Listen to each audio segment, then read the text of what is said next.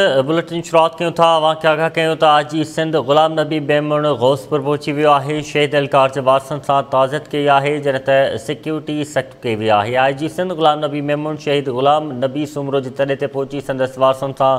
ताज़त कई है D I G Larkana Mazhar Nawaz Sheikh S S P Shikarpur Amjad Sheikh S S P Kashmir भी उतरे मौजूदा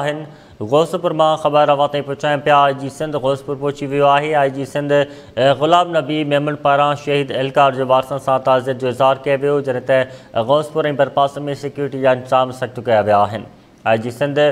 गुलाम नबी मेमण शहीद एलकार गुलाम नबी सूमरो जे तरह ते पहुची संदसि वारसनि सां ताज़ियत कई आहे D I G Larkana Mazhar Nawaz Sheikh S S P Shikarpur Ramzan Sheikh ऐं एस एस पी कश्मोर बि उते मौजूदु आहिनि